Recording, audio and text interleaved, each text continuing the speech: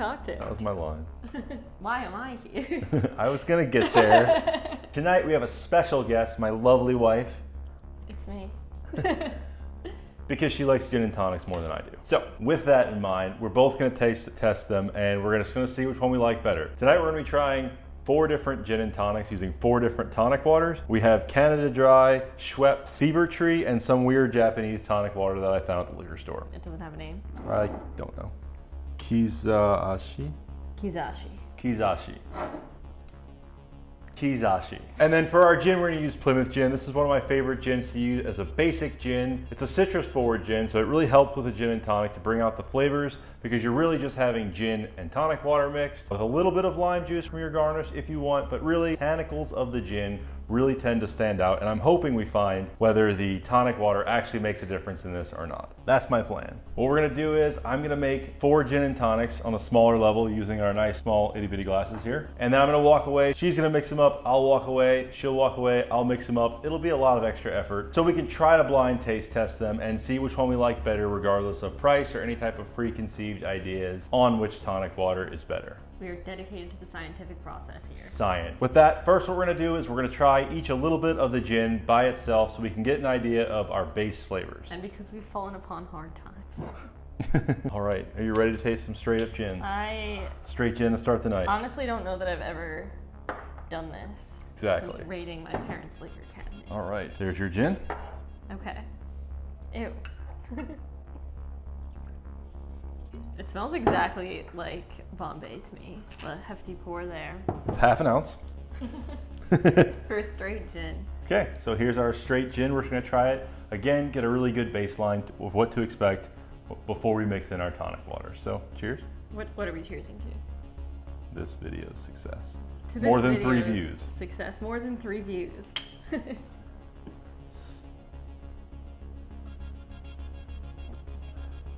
It's pretty tasty. Pretty tasty on its okay, own. actually, yeah, that's fine. That's a very smooth gin. Um, not as aggressive as I thought it was going to be at all. So Again, yeah, pretty citrusy. A little bit of the ethanol smell when you first go with it, but overall pretty good. yeah, I think the aroma. What do I think about the aroma?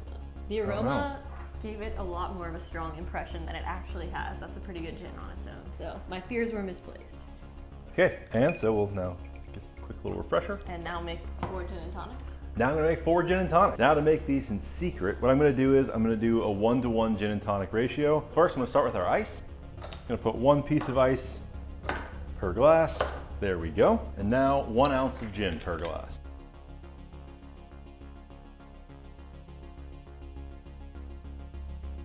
All right, so our gin's in our glasses. Let's go ahead and crack open all these tonic waters.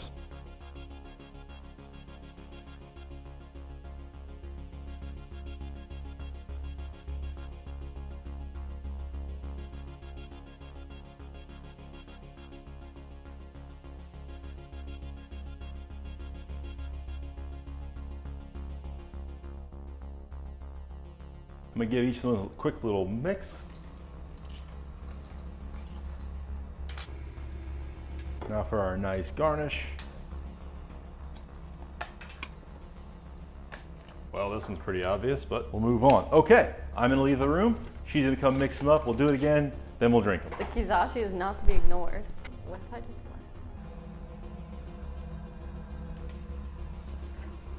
left? Okay, I'm done. Well, clearly we know which one the Japanese one is.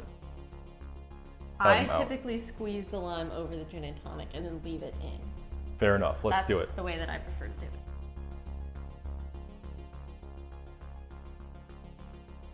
Please notice we've rationed our limes because they are very expensive here in Japan. Three dollars per lime. It's ridiculous. So just know how much I am dedicated to this channel every time you see me use a lime. 'Cause it hurts. Okay, so we're gonna start here. Would you like the honor of the first sip? I would love the love? honor of the first sip. Okay, here we go. Okay, a kind of weak aroma compared to what that gin smelled like on its own, so that's interesting. It could be because I sneezed. It could be because she sneezed. Okay, that tastes like a really weak gin and tonic to me. All right. Well, we could be running into some problems. well, the ice is almost all melted already. There was ice in there? Yeah, Oh. Huh. What kind of ice did you put in there? clear ice. Overall, I don't really taste any tonic, that, that hardcore quinine taste. Like I don't get any of that at all. I really just taste the gin with like a little bit of lime juice. Yeah, the lime doesn't really shine in this at all. Yeah, I think I more get some lime because it's all over my hands from squeezing it in. Okay, it's been a while since I've had a gin and tonic, but Yeah. I don't think I love this one.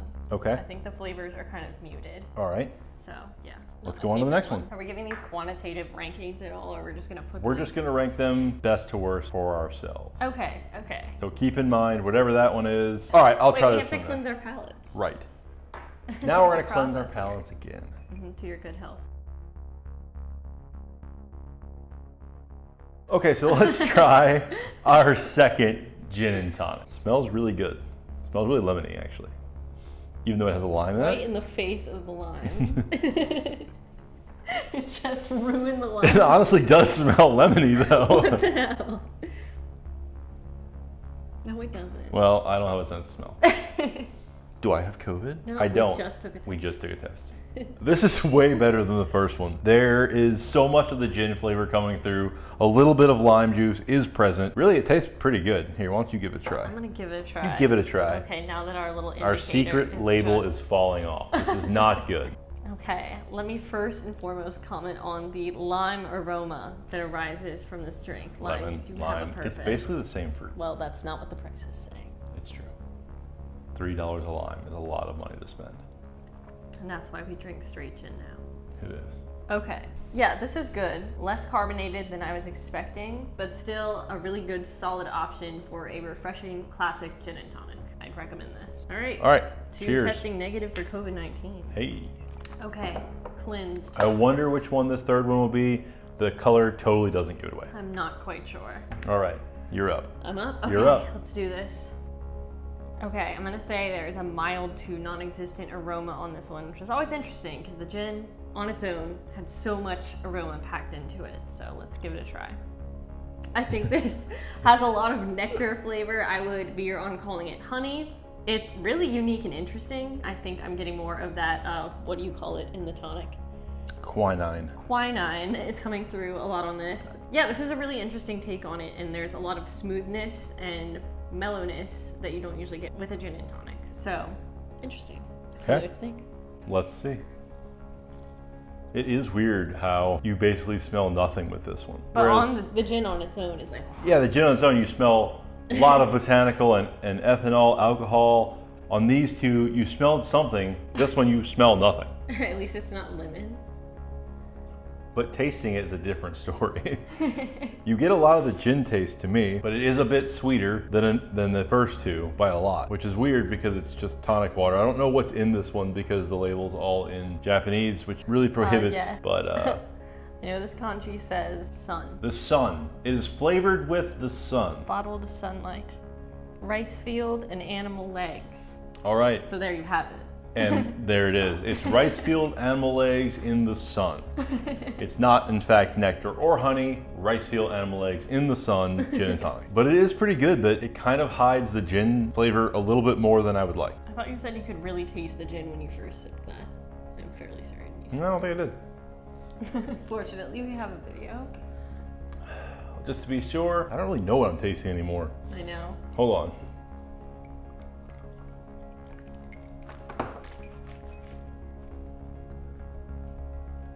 Ugh.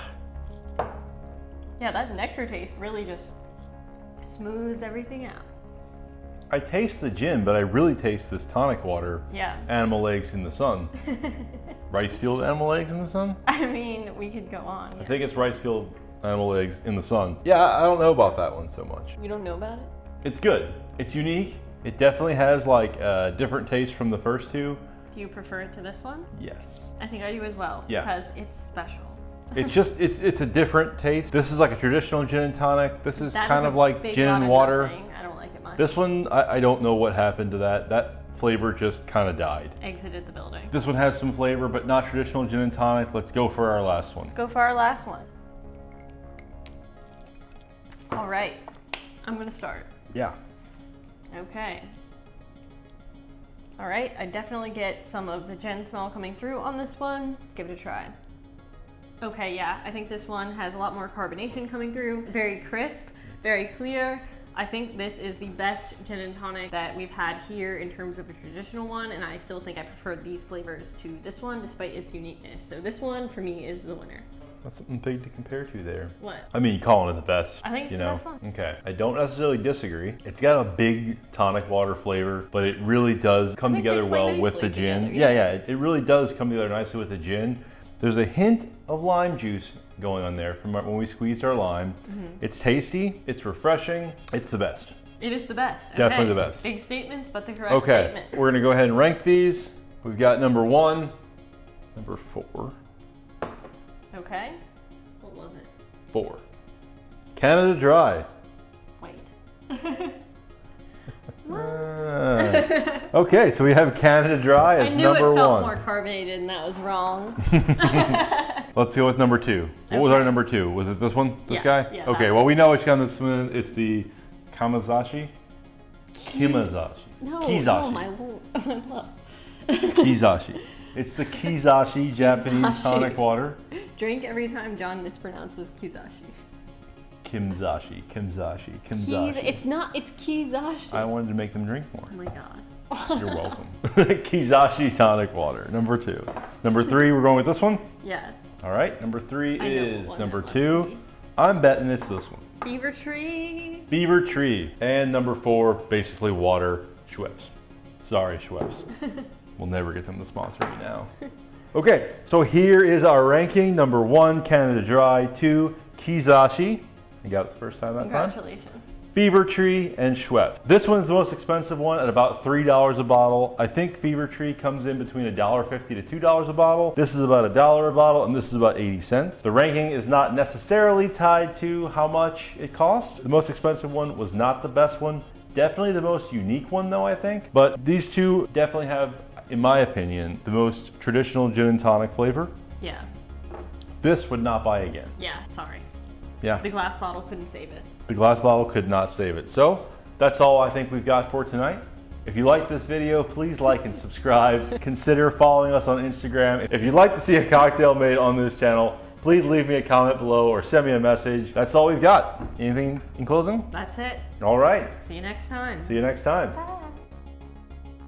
If you like this video, please like and subscribe. If you'd like to see a comment, no. God damn it. Would you like to see a comment? Would you like to see a comment? I would love to see comments too. Ah, I would love to see comments. I would love to see your comments, please.